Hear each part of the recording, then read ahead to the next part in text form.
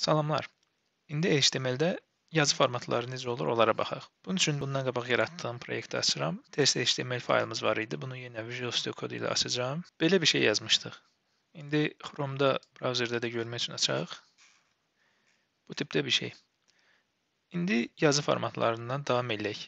Məsələn, nələr var? Biz dedik ki, adi yazı yazanda P təqindən, yəni P elementindən istifadə edirik. Amma hansısa format istifadə etmək üçün xüsusi elementlərimiz var, təqlərimiz var. Məsələn, baxaq.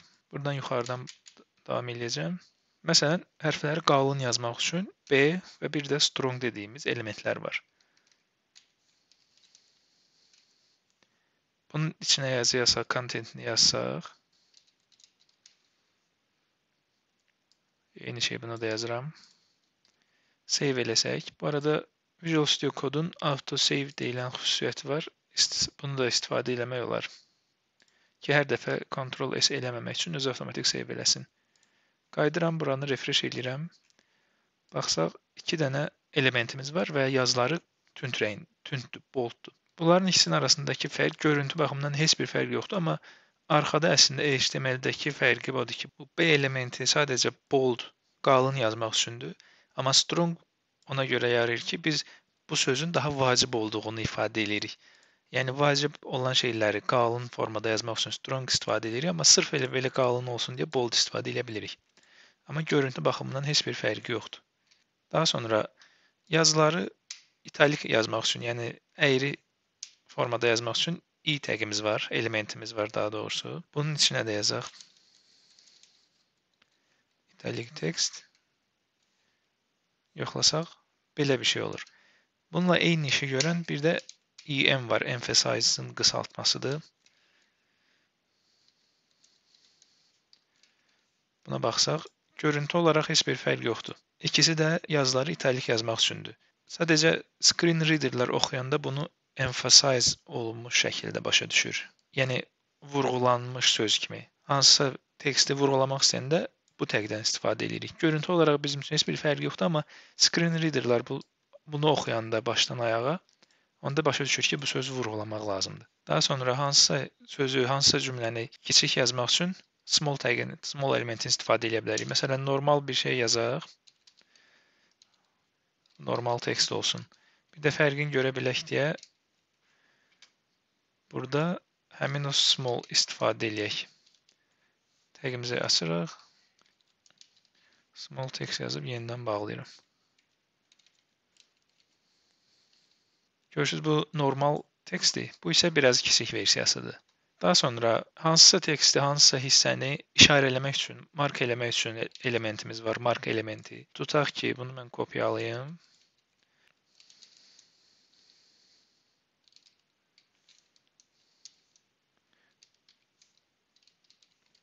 Bura mark sözünü yazdım. İndi burada yoxlasaq, görəcəyik ki, adi sözləri sadəcə sarı ilə işarələdi. O işə yarayır.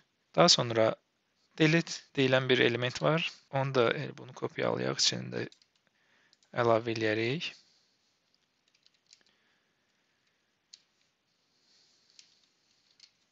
Yoxlasaq, o da üstündən xətt çəkir. Yəni hansısa yazıdır, nəsə cümlədir, içində silinmiş bir hissə varsa bunu istifadə edə bilirik. Və bundan əlavə inserted, yəni əlavə olunmuş sözləri göstərmək üçün də ins dediyimiz element var.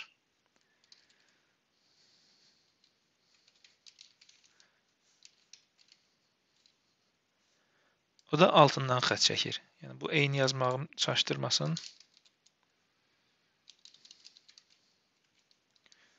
Sırf altından xətt çəkmək üçün ins inserted elementini istifadə edə bilərik.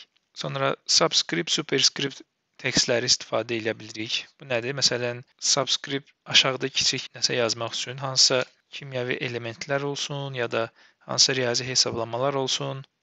Onlarda aşağıda kiçik simvolda nəsə yazmaq istəyəndə subscript yaza bilərik. Tutaq ki,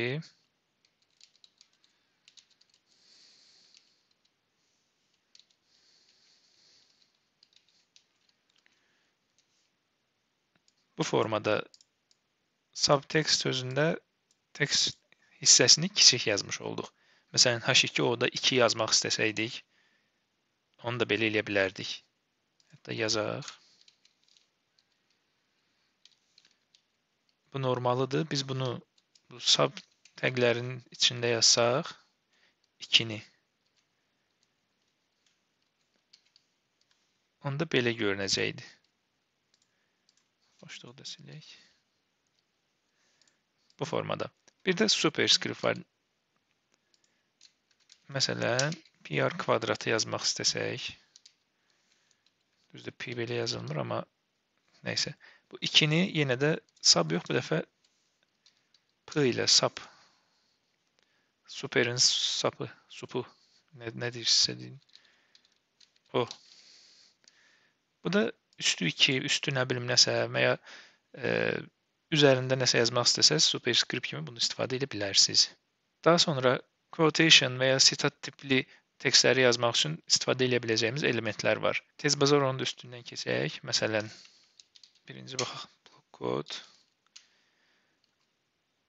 Bu indi yazdığım bu lorem ipsum falan bu adi tekst kimi fikirləşin. Yəni heç bir mənası olmayan adi yazıdır. Sadəcə görüntü olaraq əlimizdə nəsə olsun deyə istifadə elədim. İndi bununla bunun fərqi görürsüz, bu P adi elementlər falan buradan başlayır. Bu quota kimi bir şeydir deyə biraz ortaya çəkdi bunu. Soldan boşluq buraxdı bir növ. Sonra qısa quota üçün adi q elementi var. Bu da bildiyimiz, yəni o kimisə sözünü kitabları zətdə oxuyanda, kimisə dediyi sözü istifadə edəndə ki, dırnaq qoyurlar, cüt dırnaq. Onu yaza bilməyimizə kömək eləyir. Hətta bunu belə yazaq. P taginin içində bundan qabaqki nümunələrə oxşasın.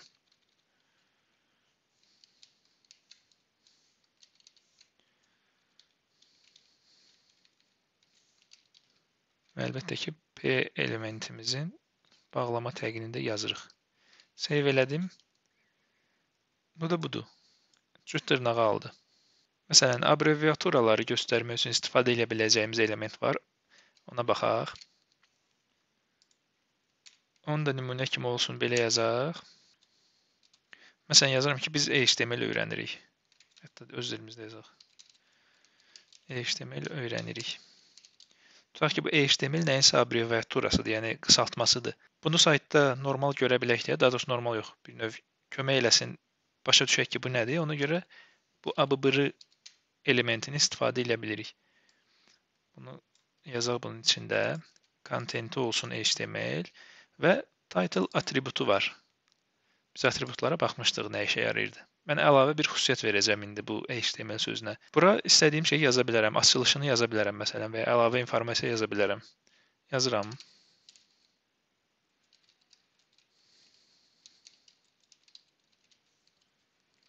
İndi yoxlasaq.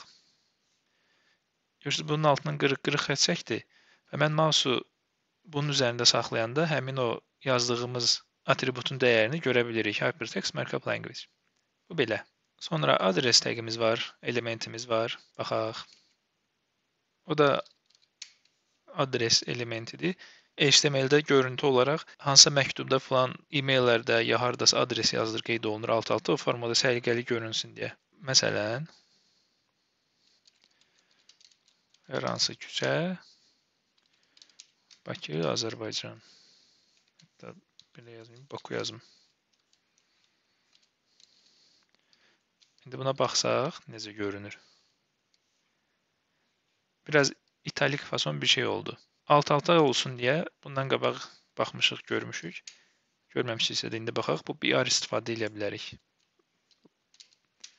BR-dakı boşluq buraxmaq üçün, daha doğrusu boşluq deməyək, breakline, yəni sətr aşağı salmaq üçün istifadə olunan elementdir bu formada görünəcək. Bu tip elementlər sırf quotation üçün istifadə olunur. Yəni sitat falan yazanda və ya belə adres yazanda, açıqlamalarını qeyd etmək istəyəndə istifadə edə bilirik. Amma sözün düzü çox vaxt istifadə olunmur bu indi baxdığımız elementlər. Çünki biz onsuz da bunların hamısını CSS ilə görüntü olaraq, yəni nə istəyirsə CSS vasitəsilə edə bilirik. Sadəcə bu yəni normal qaydası budur. Əgər yazmaq istəsək ki, hansısa kvota var və görünsün, nə bilim, biraz soldan boşluq buraxsın və ya dırnağın içində olsun, nəsə olsun. Normalda bunu screen readerlər oxuyur və ya biz SEO istifadə eləyirik, search engine optimization, saytımız daha optimal olsun deyə onda normal elementlər istifadə etmək lazımdır. Amma yeri gəlsə, yəni bütün burada elədiyimiz hər şeyi adi elementlərlə, yəni P elementi ilə və ya span dediyimiz element var, baxarıq. Onunla eləyib üstündən də CSS ilə qəşəng bir görüntü atardıq, onlar da gül kimi. Hətta bundan da gözəl, yəni istədiyimiz dizaynı verə bilirik. Amma bunları da bilmək lazımdır deyə bir növ baxmış olduq. Sonra komment yazmaq istəsəydiniz ona da üstündən keçək, qalmasın. Tutaq ki, buradan bir komment yazmaq istəyirəm. Məsələn, yazacağam ki, bura başlıqlar, yəni H1, H2, H1 və ya burada bunlar var deyə. Sadəcə bunu mən komment formasında yazım. Çünki mən indi belə ilə baxsam, həmin o sözün burada görünəcək. Görünməsin deyə, sırf kodun içində baxanda görək, bizə kömək olsun deyə komment yazacağam və belə bir sintaksi var HTML kommentlərinin.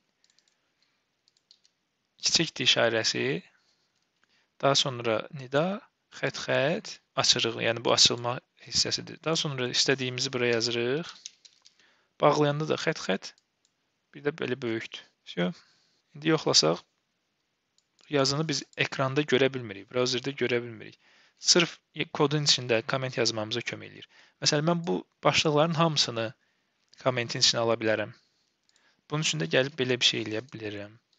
Yazıram yenə bundan və bağlayanda gəlib aşağıda bağlayacağam. Görürsüz, indi bağlamamışam deyə bu kommenti açdığım təqdən aşağısı bütün kommentlənmiş sayıldı. Gəlib indi burada bağlayacağam. Bağlamaq dediyimizdə xət-xət böyükdür. Şu. İndi yoxlasaq H1, H2 bütün bu elementlər yoxa çıxmış oldu. Yoxa çıxmadı daha doğrusu. Ekranda brauzerdə görmürük, sadəcə kommenti almış olduq. Ümumi belə.